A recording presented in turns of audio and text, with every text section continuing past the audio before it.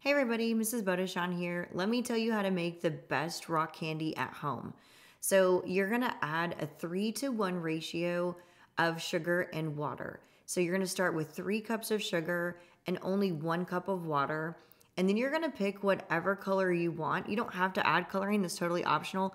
But if you want it to be a color, you're gonna need to add 30 drops of food coloring in order for it to really show. If you're just gonna add a couple of drops, you're not gonna get any color in your finished product for rock candy. I went ahead and added 30 drops of blue. What you're gonna do is you're gonna stir it up really well and you're gonna put it on the stove. You can do this in a regular pot on your stove. I'm a science teacher, so I just did it on a hot plate with a beaker, but that's not necessary at all. As soon as it comes up to a boil, remove it from the stove and stir it really well and put it in a heat safe container like a Pyrex or something like that that will not crack when it gets hot or will not melt like plastic. And then you're gonna let it cool down on the counter um, and just kind of let it be there for a couple of hours.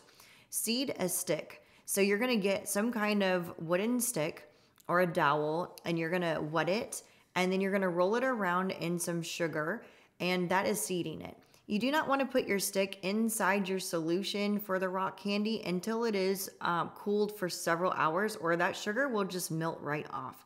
Once you put it in there, make sure it's in the middle. And I went ahead and used some tin foil just so it would stay in the middle and not lean over to the side. You can see that this is what it looks like after a couple hours at the end of the day. So hardly anything is happening, nothing much is going on. I recommend leaving yours in the same place and trying not to look at it as much as I'm doing. But this is just for the sake of the video. I wanted to show you the progress of the crystals. Um, our whole point here is to get large crystals in our rock candy so we can have the best candy possible.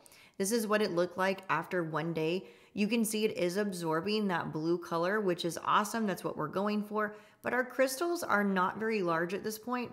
You really need to leave rock candy in the solution for about a week. You can even go longer to two weeks if you want, but um, by all means, start enjoying it a little bit earlier. This was after about five days, and you can see that we're getting some significant sized crystals now.